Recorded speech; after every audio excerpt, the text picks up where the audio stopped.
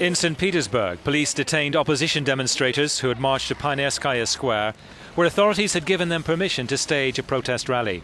The marchers were held and put in police vans amid claims they had been chanting opposition slogans. Organisers put the number at the rally at over 5,000.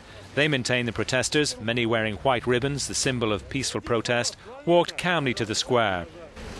The day of rallies in Russia stretched across nearly 7,400 kilometres from St. Petersburg in the west to Vladivostok in the Pacific, marking the biggest protest since Putin came to power in 2000.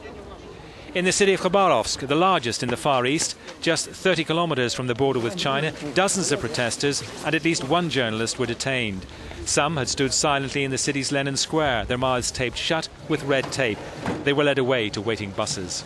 A cameraman was held after he was ordered to hand in his passport. An officer said they were acting within the law by detaining the protesters.